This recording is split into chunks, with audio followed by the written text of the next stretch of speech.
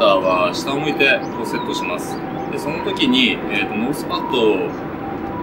を結構押し込む選手っていうのが多いんですけれども、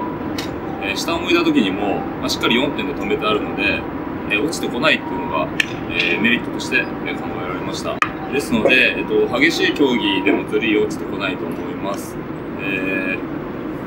ノーズパッドのないサングラス、サイドパッドの魅力っていうのも現代なのかなというふうに感じました。えー4点ですね、すべて中に芯が入ってまして、あの、これ顔幅に合わせて自由にこれ調整ができるんですね。広げたり狭めたり。すごく快適な、あーまあ、柔らかい柔軟性のある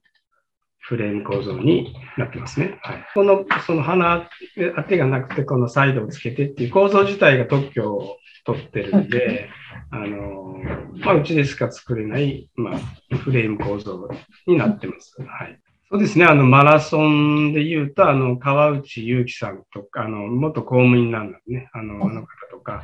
うんプロ野プロ野球の選手だとか、あの、ゴルフ、テニス、はい、いろいろ、あの、使っていただいてますね。はい。あの、我々作ったものを、まあ、つけていただいて、あの、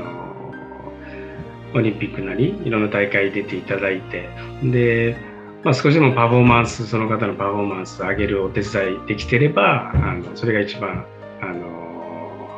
嬉しいことかなと思いますね。うん